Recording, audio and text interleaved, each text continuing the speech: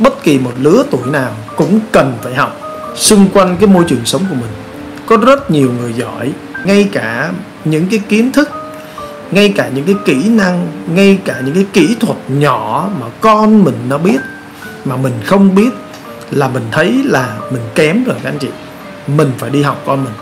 Có những cái thứ mà mình không biết ví dụ như là những cái công nghệ trên cái điện thoại mình không biết.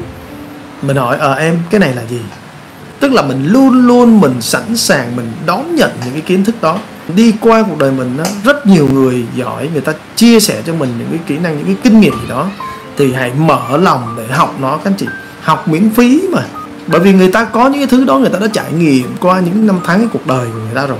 Người ta chia sẻ cho mình thì mình nên học cái thứ đó. Khi mình đã có một cái tư duy là không ngừng học hỏi đó các anh chị à, cái tôi mình sẽ hạ xuống. Và mình đi tìm xung quanh mình. Coi coi có ai dạy mình một điều gì đó không để mình học.